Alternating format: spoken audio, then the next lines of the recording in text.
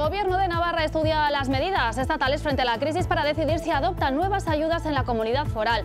Valoran, eso sí, de forma muy positiva ese plan de choque aprobado por el Gobierno de Sánchez para paliar los efectos económicos de la guerra en Ucrania. ¿Qué tal? Buenas tardes. Desde el Ejecutivo Foral dicen que si se aplican nuevas medidas de apoyo serán para colectivos vulnerables y sectores más afectados. Dar la foto y, en su caso, lógicamente valorar escenarios futuros de ayudas más concretas y específicas, pero dirigidas ya sobre todo la prioridad es a los colectivos vulnerables y a aquellos sectores más castigados. Es la respuesta a esas medidas que Sánchez ha explicado hoy en el Congreso, donde ha hecho un llamamiento a todas las fuerzas políticas para que se sumen a ese plan de choque. Enseguida vamos a escuchar también la valoración que hacen los diputados por Navarra.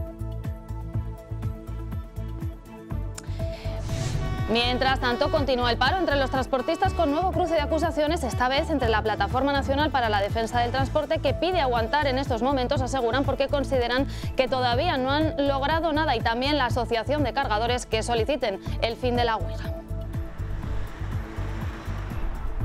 Y otra imagen que nos deja el día, la familia de Tomás Caballero ha donado sus fondos personales al Archivo Contemporáneo de Navarra, un legado para la historia de los familiares del concejal de UPN asesinado por ETA en 1998. Numerosos documentos que serán accesibles para la ciudadanía en general y también para el mundo académico e investigador.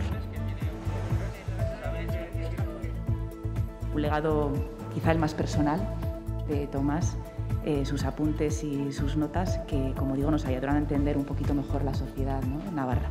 Y es emocionante para nosotros poder compartirlo con la sociedad navarra.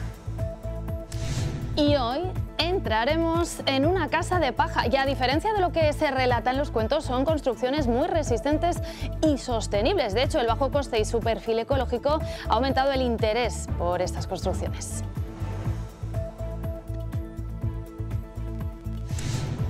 Y también nos colaremos en uno de los ensayos del Ángel de Tudela. Somos testigos de la primera vez que Verónica representa este papel desde el aire. El 17 de abril anunciará a la Virgen la resurrección de su hijo.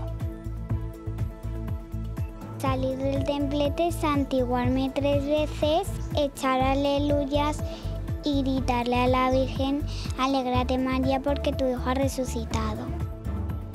Y en deportes, Juan Carlos Unzué será homenajeado por Osasuna en el Sadar. Será el próximo 10 de abril ante el Alavés. Los jugadores lucirán durante el partido esta camiseta, además de saltar al campo con una especial en referencia al exportero quien realizará el saque de honor.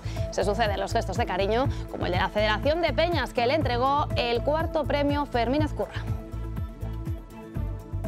sé que se está valorando también lo personal y en el fondo Mm, me satisface mucho, porque al final, bueno, yo lo que muestro es lo que siento, lo que pienso. Evidentemente sabéis con mi objetivo de visibilizar esta enfermedad y de conseguir los máximos recursos posibles.